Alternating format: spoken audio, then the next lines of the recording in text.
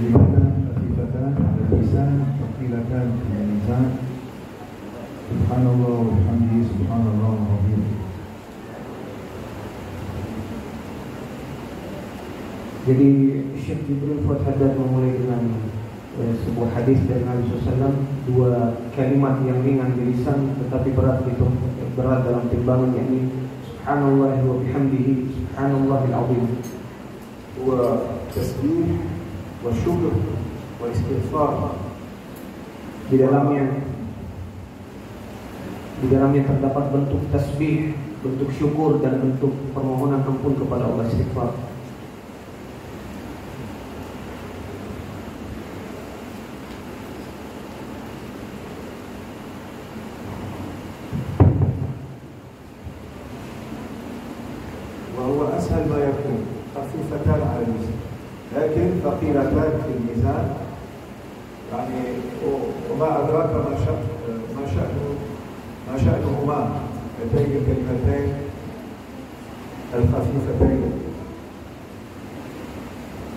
Dan dua kalimat tadi ini yakni subhanallah bihamdi subhanallahil azim adalah dua kalimat yang sangat ringan untuk diucapkan terhadap lisan kita tetapi subhanallahil azim kalimat ini adalah kalimat yang sangat agung.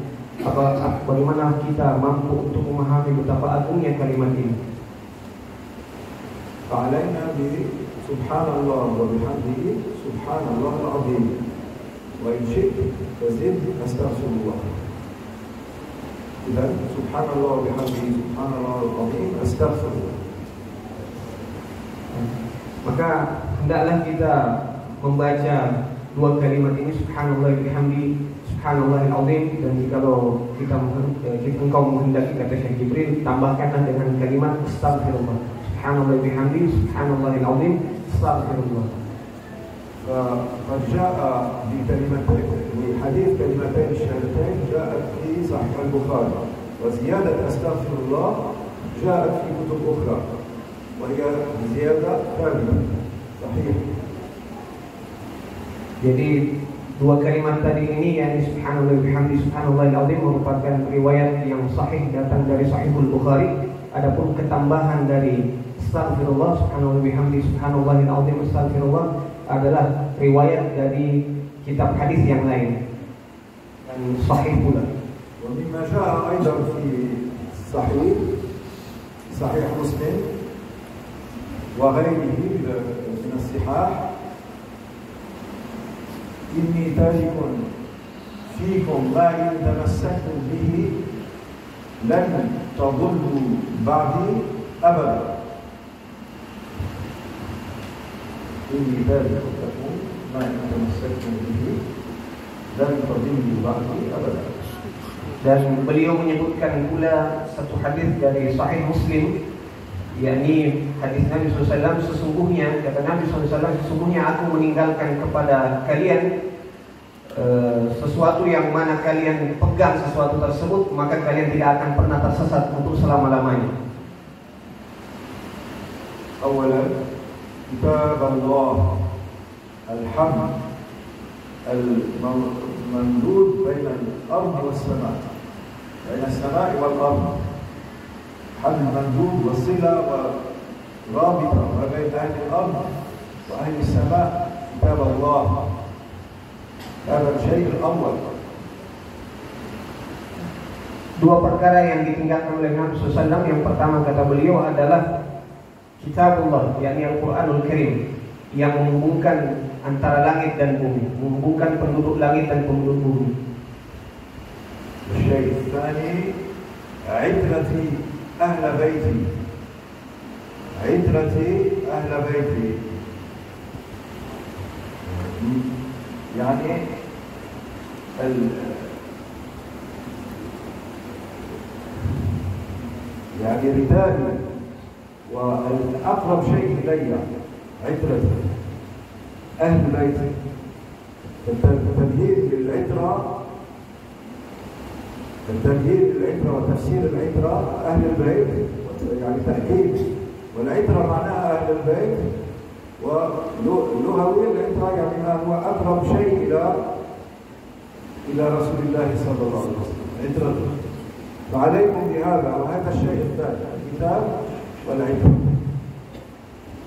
Jadi setelah yang pertama tadi beliau sebutkan yakni kitabullah dan hadis Nabi SAW Adapun yang beliau tinggalkan yang kedua ini yakni itra. Itra ini maknanya ahlul bait. Dalam makna bahwasanya sesuatu yang amat dekat dengan diri baginda Rasul sallallahu alaihi wasallam.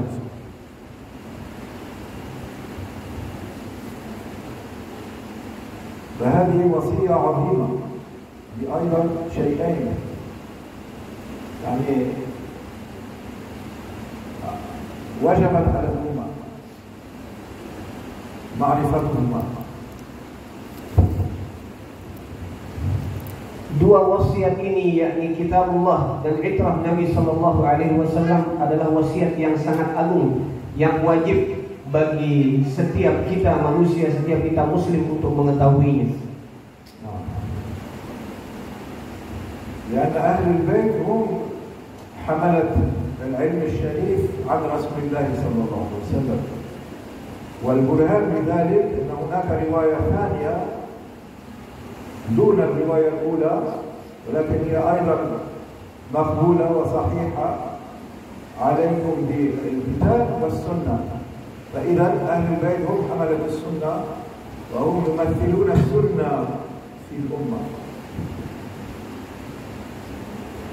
Maka Dua hal ini kitabullah dan itrah Nabi sallallahu alaihi wasallam adalah dua hal yang sangat amat agung. Yang mana kata itrah ini beliau kata beliau sebutkan uh, Nabi Nabi SAW meninggalkan yang kedua ini yakni itrah Nabi sallallahu alaihi wasallam membawa ilmu yang agung. Sebagaimana petunjuk dalam hal ini riwayat yang lain kitabullah dan sunnah. Berarti yang dimaksud di sini sunnah maknanya adalah etrah Nabi SAW yang betul-betul mencerminkan sunnah Nabi Alaihi Wasallam, membawa risalah sunnah Nabi Sallallahu Alaihi Wasallam. ومن هذا صار واجب على الأمة الولاء لأهل البيت ونصرة أهل البيت بل ومحبة أهل البيت محبة مطلقة حتى أن من المشايخ الفخام العظام واسمه الشيخ محي الدين بن عربي قال ولو أذاك أحد يسامحهم ولكن إذا هو من أهل البيت يعني يكون أوجب. ويكون أيضا من باب العبادة يعني يكون طهارة لنا.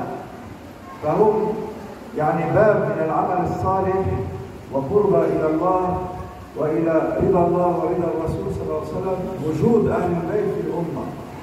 فلننتبه لهذا لأنه هو واجب علينا جميعا. أيش مكان مذهبنا؟ Jadi beliau Syekh Jibril Fuad Haddad menjelaskan kepada kita bahwasanya wala sifat loyalitas kita kepada ahlul bait turunan Nabi Shallallahu Alaihi Wasallam adalah hal yang wajib bagi umat ini, bagi umat ini. Maka kata beliau bahkan disebutkan oleh Syekh Ibn Arabi kalau seandainya ada di antara turunan Ahlul Bait menyakiti kita, maka wajiblah bagi kita untuk memaafkannya. Pada hakikatnya memaafkan setiap orang yang menyakiti kita itu wajib. Tetapi memaafkan kepada ahli bait yang telah menyakiti kita jauh lebih baik, jauh lebih wajib lagi, jauh lebih utama lagi fadilahnya.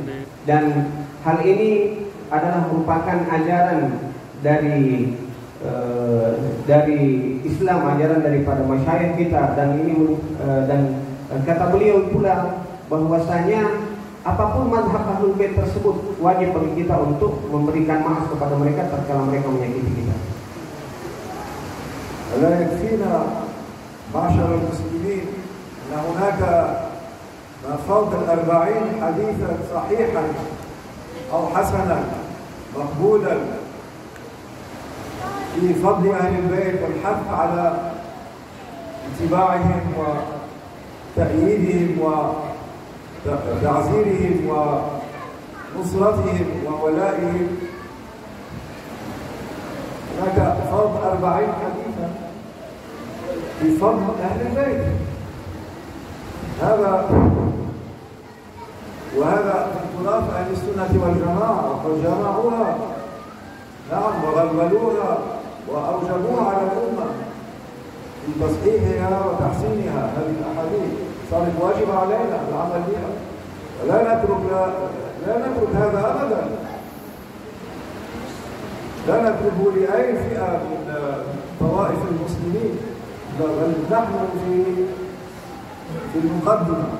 نحن أول المسلمين في هذا إن شاء الله موالاة أهل البيت.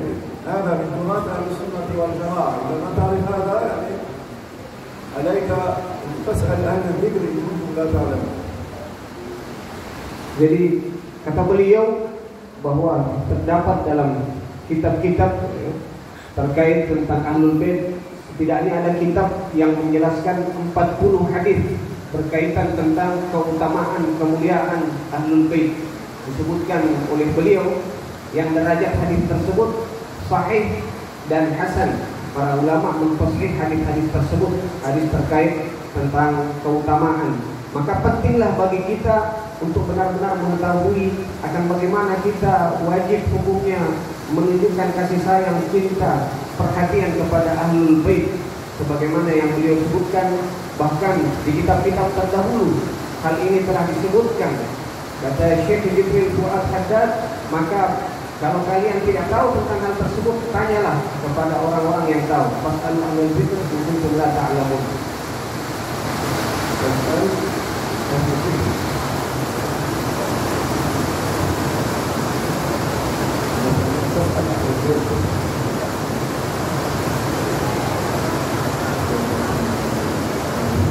ومنها من هذه الأحاديث أهل البيت في الأمة كسفينة نوح عليه السلام. ممكن أهل البيت كسفينة نوح عليه السلام. من ركبها نجا ومن تأخر عنها هلك. هذه الأحاديث. Uh, tadi ada yang mungkin saya keliru. Jadi pasal ahli zikr yang kuntum la ta'lamun ini adalah uh, ayat berkenaan kalau kalian tidak tahu kalian tidak tahu maka tanyalah kepada ahlu zikir. Ahlu zikir yang dimaksud di sini para ulama kita, para imam kita. Maka kata beliau ada satu hadis dari Nabi SAW bahwa ahlul bait itu perumpamaannya seperti Safinatun Nuh, perahunya Nabi Nuh. Maka siapa yang menaiknya mesti dia akan selamat. Alhamdulillah الذي هدانا لهذا وما كنا لنهتدي لولا ان هدانا الله. فاهتدوا ولا تتركوا هذا ولا تهملوه أبدا. كما أن معرفة أحوال آخر الزمان واجبت علينا ليس فقط علم الإسلام آه، والإيمان والإحسان ثم نقف هنا. لكن متى الساعة يا رسول الله؟ تمام؟ إذا أحوال الساعة معرفة أحوال الساعة. مهم؟ واجب علينا لأنه هذا من تعريف دين الإسلام. تعريف دين الإسلام. والإسلام والإيمان والإحسان وعلم الساعة. يعني أحوال علم الساعة علامات علم الساعة. Kata beliau bahwa sebagaimana pentingnya bagi kita untuk mengetahui tentang keutamaan ahlul bait ini sebagai hal yang wajib untuk kita ketahui jangan maka hendaklah kita jaga dan jangan pernah sama sekali kita tinggalkan. Demikian pula penting amat sangat penting pula bagi kita untuk mengetahui tentang akhir zaman tentang berita-berita terkait akhir zaman tanda-tanda hari kiamat di mana dalam hadis yang e, pada hari pekan eh, hari yang lalu disebutkan hadis tentang e, e, pentingnya Islam, iman, ihsan dan hadis, disebutkan dalam hadis tersebut tentang isyrat besar tentang tanda-tanda hari kiamat. Artinya hal perihal tentang pengetahuan terhadap tanda-tanda akhir zaman adalah perkara yang amat sangat penting untuk kita ketahui. Wa min عند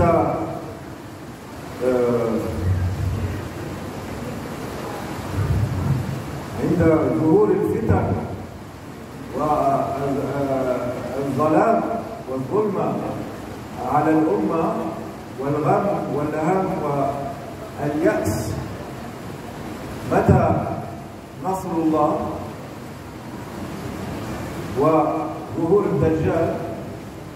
من من هذه العلامات أيضا ظهور من يأتي بالإصلاح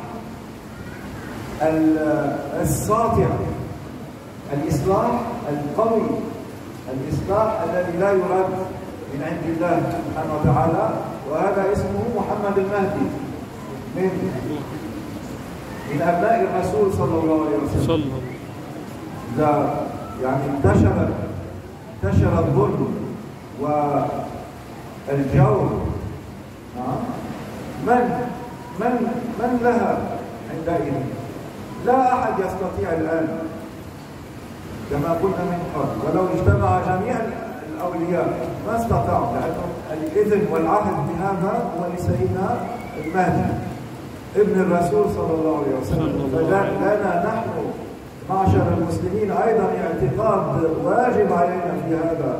ولا يعني لا يجوز يعني تركه أبدا وإهماله لأنه نحن الآن في آخر الزمان بلا شك ولا ريب. إذا صار أوجب وأوجب. الذي كان واجب بالأول عندما تلفظ الرسول صلى الله عليه وسلم بهذا الحديث الشريف صار أوجب علينا الآن لأن نحن الآن بلا شك ولا ريب أقرب إلى هذه آه، الشهور ظهور الدجال وظهور المهدي نزول عيسى عليه السلام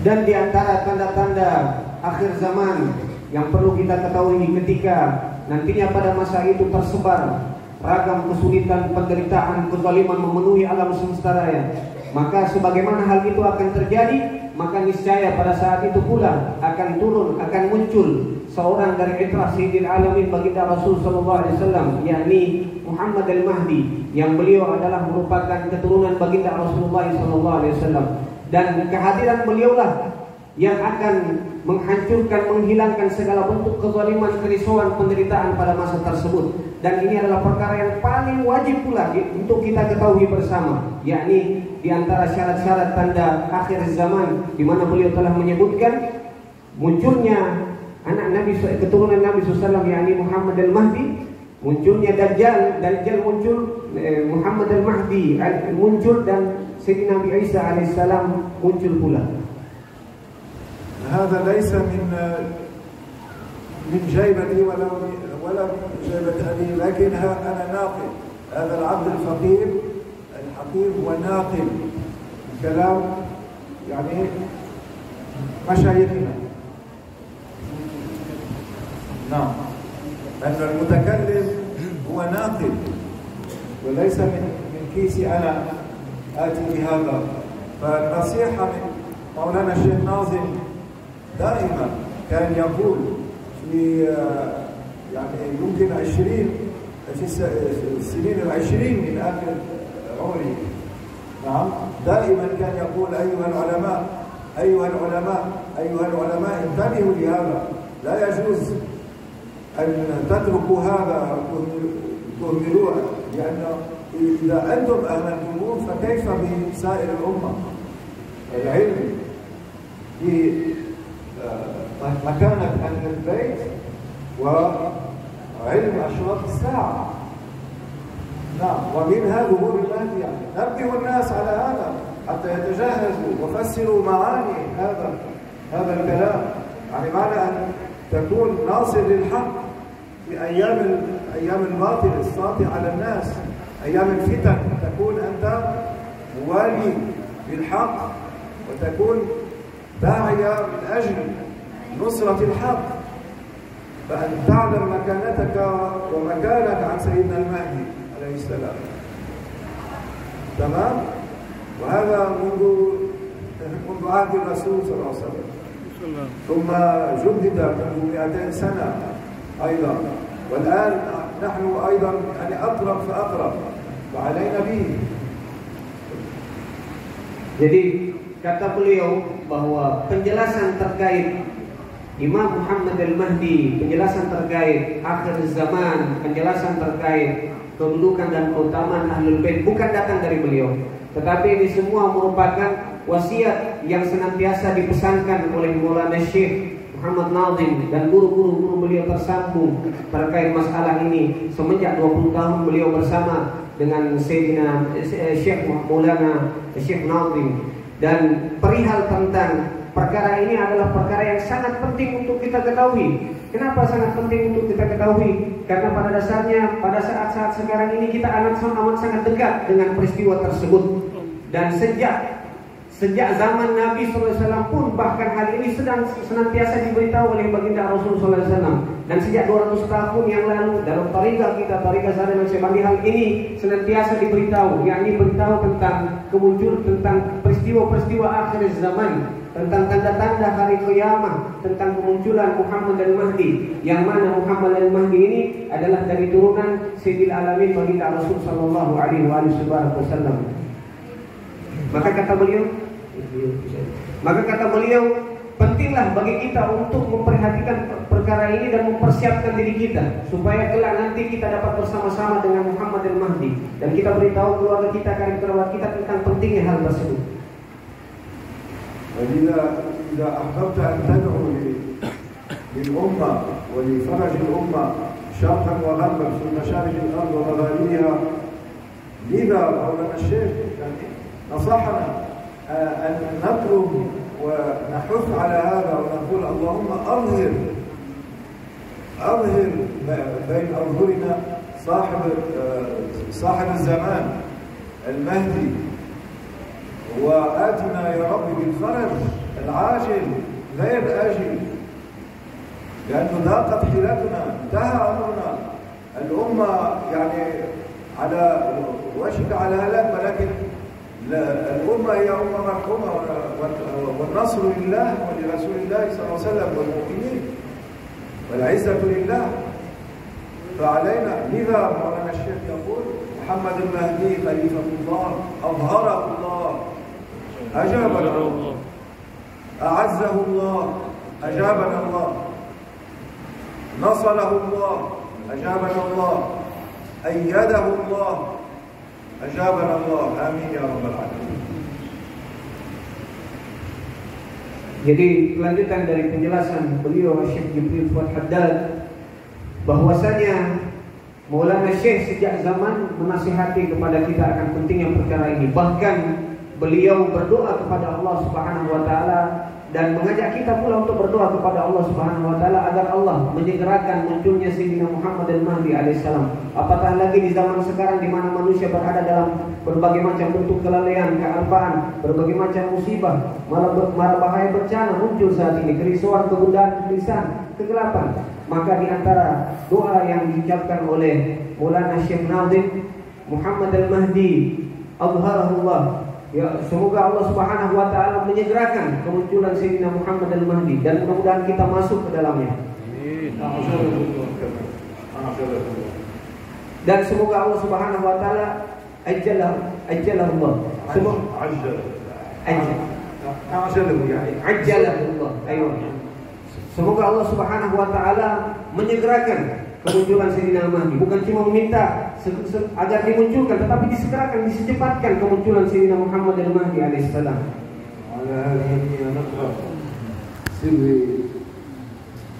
من أرسل من أرسل الله عليه وسلم سورة الفاتحة.